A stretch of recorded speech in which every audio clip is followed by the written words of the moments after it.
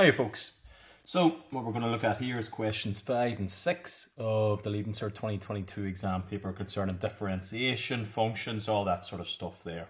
So the first one here, we're given the function g of x is equal to x squared minus 1 over x, and we've got to find the derivative or the diff of it. Now what we've got to do here first of all is rewrite this. So instead of saying g of x equal to x squared minus 1 over x, bring that x up. Now that x by itself is to the power of 1. And when it comes up, the sign changes. So it's going to become minus 1x to the minus 1. And by doing that then, I can employ the rules of differentiation, where multiply down by the power, reduce the power by 1. So we diff that, multiply down by the power, the 2, becomes 2x, reduce the power by 1, 2x to the power of 1, or simply 2x.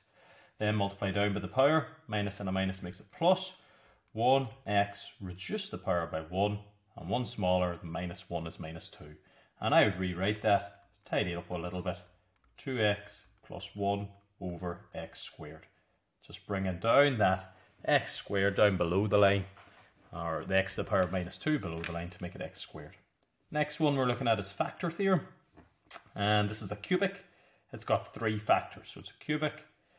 We're given one of the factors, and what we must do is find the three values of x. When it says values of x, what we're looking out for is the roots, where it cuts the x-axis. So once they said that something's a factor, it means it divides into it. So do your long division of x plus 1 into that cubic there.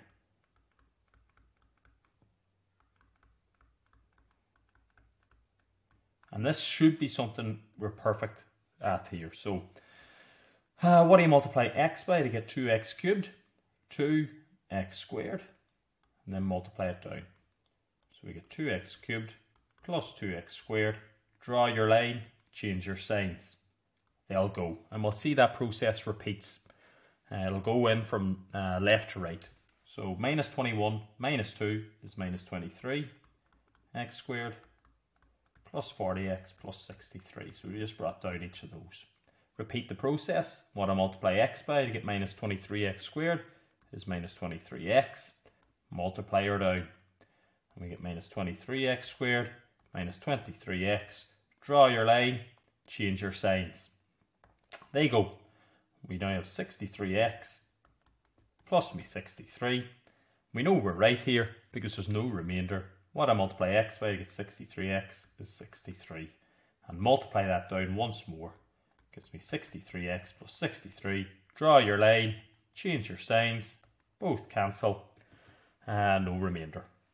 Now we're given, uh, we're looking for three values at the minute. We have one factor here, x plus 1. To get the other two factors, we've got a trinomial or quadratic, or 2x squared, uh, 2x squared minus 23x plus 63. Factorize that whatever way you wish, or do your minus b formula. Um, by doing the minus b formula, you'll end up with your roots, which is perfect. So do your minus b if you wish. I'm just going to factorize it here. Generally, I'm thinking of 63, I'm thinking 9 and 7. Uh, 7, 9, minus a minus.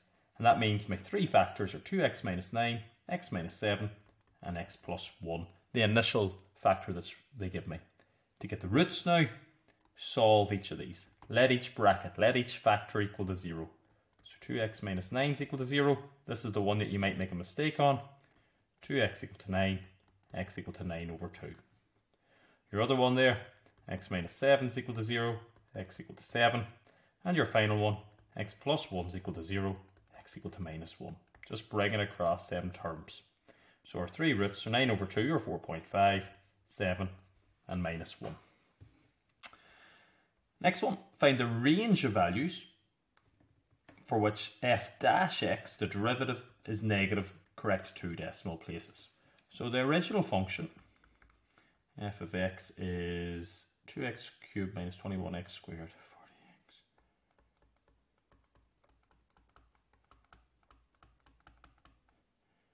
Sixty-three? Forty x. Yeah, so that's my original function.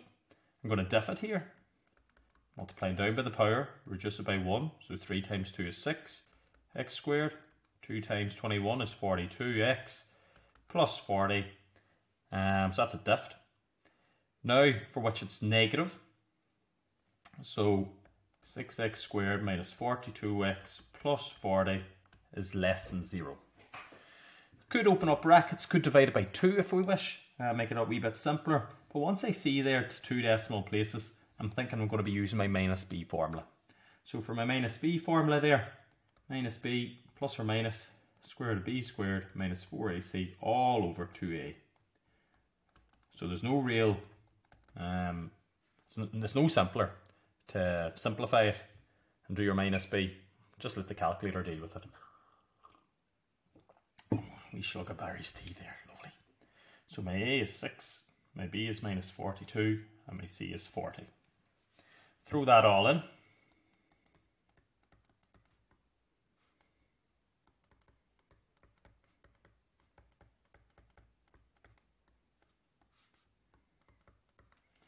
And then just type it as you see it.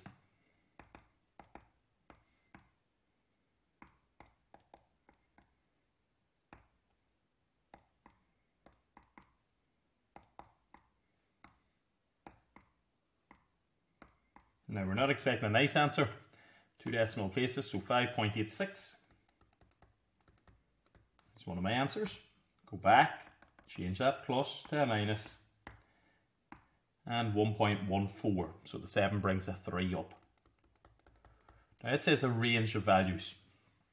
So what we've got to do here is you've got to say to yourself, what shape? So anything time you're solving a quadratic inequality, you follow through this procedure. So just draw out a simple xy axis. Nothing swanky. We've got our roots here, 1.14 and 5.86. So the critical points. What shape is a 6x squared function? It's a U shape. Now they're asking you, where is that graph negative? Less than zero. Less than zero. That's what that means there. So the graph is less than zero everywhere down here. So in relation to 1.14, we're getting bigger. 2, 3, 4. In relation to 5.86, we're getting smaller. So x is bigger than 1.14 and x is less than 5.86. Alternatively, you can put that all together. You might see in the back of the books uh, written like that. That's the same thing. Read from the x. x bigger than 1.14 and less than 5.86. Number 5 is a very fair question. Next one, we're different according to first principles. Now you should always think about your answer before you even begin. So the answer of this, when I diff it, multiply down by the power, 2 times 2 is 4, x plus 4. Because if I'd make a wee games of it throughout, uh, I can just waffle and hope that the examiner doesn't see it. Now, my formula for first principles, your limit, h goes to 0, fx plus h minus f of x over h. And what I would do is just do each step as they come. So f of x is my original function. Then sub in your fx plus h. Simply put in my x plus h everywhere there's an x. Tidy that up. Whatever way you want to square it out, write out the bracket twice if you wish. I'm just finding it tight for space, so I'm going to square the first, multiply the two together, xh, and double it, and square the last. Do the same over here, multiply it out, tidy that up,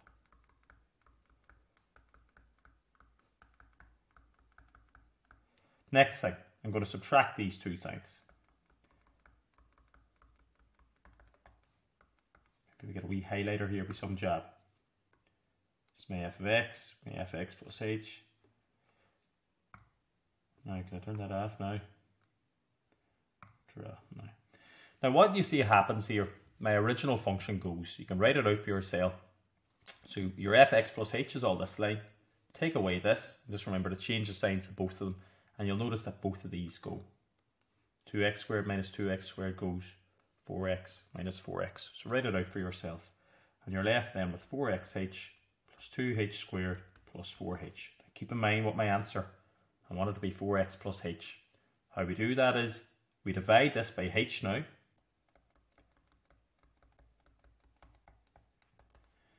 Um, so put it all over h When you do that, h into that goes 4x plus 2h plus 4. And the final thing, limit as h approaches 0, simply horse in 0 for my h. So although it's a lot of work, they're lovely marks. If you get one of them in your exam, you're licking your lips. Ah, oh, sorry, I forgot to throw on me zero.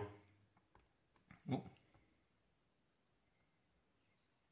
So 4x plus 2 times 0, just throw in my 0 for my h, plus 4. When you tidy that up, you get 4x plus 4. Exactly as we said at the start. This one, a rectangle is expanded in its area. If its width is x, x oh jeez, width is x. x is bigger than 0, naturally enough. Its length is always 4 times its width. So 4x. Find the rate of change of the area of the rectangle with respect to its width. Right, what I'm thinking there is, so the area of that rectangle is found by length times width.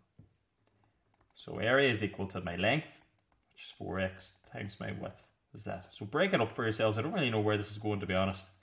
I'm going to get 4x squared. Now they've asked me for the rate. When they ask me for slope, speed, rate of change, maximum, minimum, nearly always thinking of differentiating. So here I'm going to go dA dx, differ. When I do that, I get 8x. Uh, sure, well, stall, stall it there. That's really as much as I get from this. Then it says when the area of the rectangle is 225.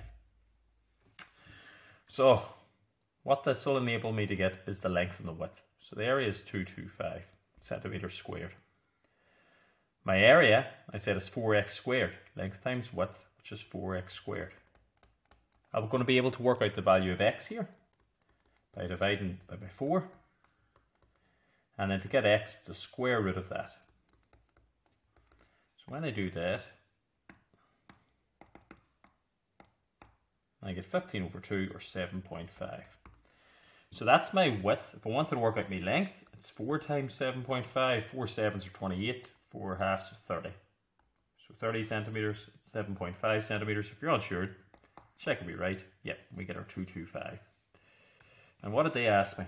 Find the rate of change of the area with respect to its width when the area. Oh, okay. The rate of change of the area with respect to its width. There's the general term. They said with respect to its width, which worked out to be 7.5.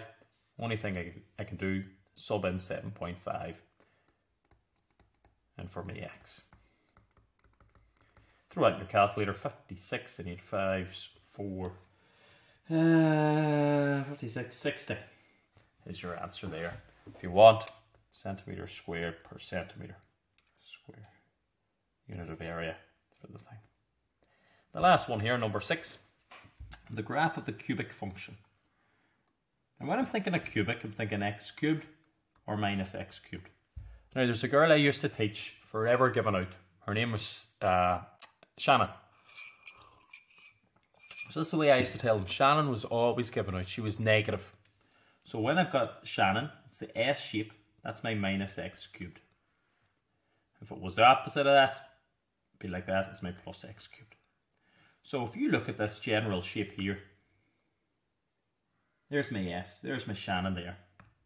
So that original function is some version of a minus x cubed. It could be minus a third x cubed, minus 2x cubed, whatever, I don't know. But when I diff that, multiply down by the power, minus 3, reduce the power by 1, I'm going to get minus 3x squared. And an x squared function, you know an x squared function is a u shape, and a minus x squared function is an n shape. So when I diff that, I'm going to get some sort of an n shape. So my graph and my derivative is going to be some version of this. Uh, between 0 and 4. The maximum value, so the highest value, so again that indicates it is a minus x squared, it is the n shape, because we get a maximum value here Whereas down here I'd have a minimum value if it was a positive. So another way to look at it. The maximum value in this domain is 1. So the highest point, that's why it only goes up as far as 1 on the y-axis. P dash 0, so when I diff it, on a horse in 0, 0 just being my x, I get an answer of minus 3. So I'm going to go up uphill from this. Um, and we've got to graph the thing. Now, the key things here are the turning points. And I can see here the turning points where is at 1 and 3. Now the slopes of those turning points, the slopes of those tangents are 0. So my graph is a representation of that slope or the derivative. And at x is equal to 1, the slope is 0 here. And at x equal to 3, the slope is 0 there. So they're the roots. Now, the maximum point then is going to occur between those two points because it's symmetrical here to the point of inflection. So that's at the point 1. And we're getting a good shape of that, um, a good version of the, the derivative now. And then it's going to be symmetrical, 4 there and minus 3. So if you join them up, nice smooth curve, don't use your ruler there, you get your minus x square function. Another way, someone, if you're going into it in depth, if you do your tangent line from here up to it, it's a negative. So it's negative there all the way up to 1. That's why it's below 0. Then from 1 to 2, or 1 to 3, sorry, we're increasing our values here. From 1 to 3, if I drew a tangent line there, it's increasing. And that's why it's all above the x-axis here. And then after 3, if I look at my tangent line, it's going downhill once again. And that's why I'm below the axis there. But if you identify the slopes of the tangents are 0 here and here, put them in. They give you the maximum point, which is halfway between. They give you the lowest point, and then join it up in a nice smooth curve.